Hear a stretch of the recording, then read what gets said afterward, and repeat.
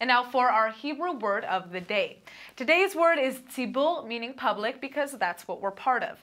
We elect p'kidei tzibur, or public officials, live in gil tziburi, or public housing, support musdot tzibur, or public institutions, and ride the tachbura tziburit, to work, or public transportation.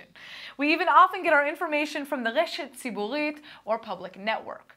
Again, just try to keep in mind that Chatzibur, or public, is made up of all of us.